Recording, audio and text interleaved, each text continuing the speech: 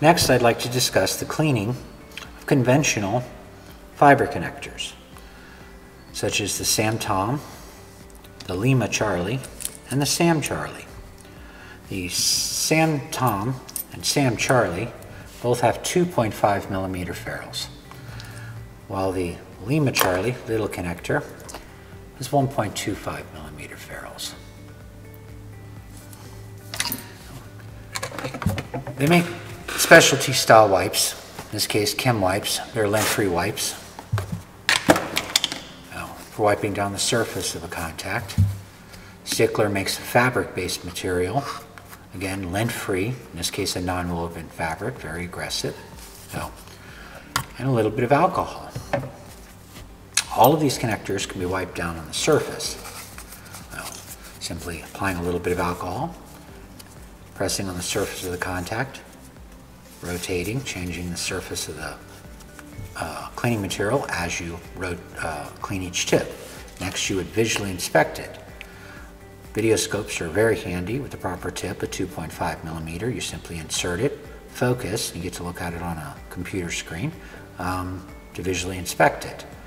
Now there are other options, in this case, sort of a reverse Q-tip design. These are also done by Stickler.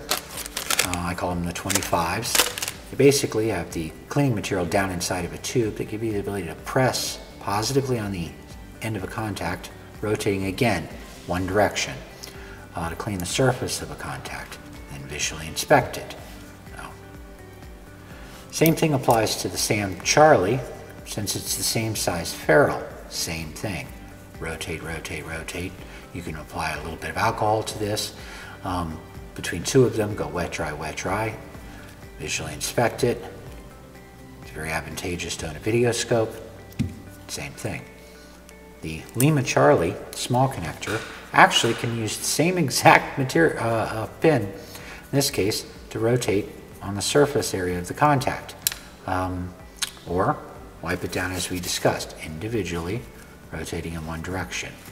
Uh, switching to a smaller tip, we would visually inspect each of the contacts. Another option is string cleaners. String cleaners are basically dental floss string inside of a, a, a pen with an aligning tip that allows you to center over the contact, reaching up inside, and snap.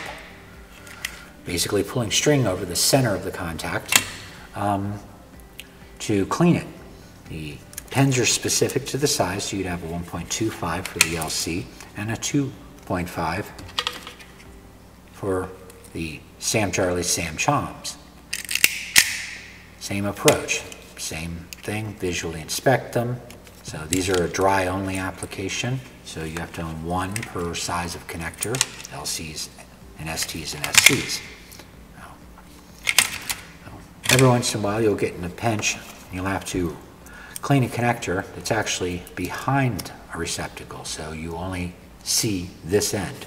Um, Stickler makes a variety of uh, cleaning tips for different sizes that'll give you the ability to reach down inside of the connector through the alignment sleeve and wipe the surface of the contact. However, it is always preferred to clean the contact by extracting it from the rear, but sometimes that's not possible.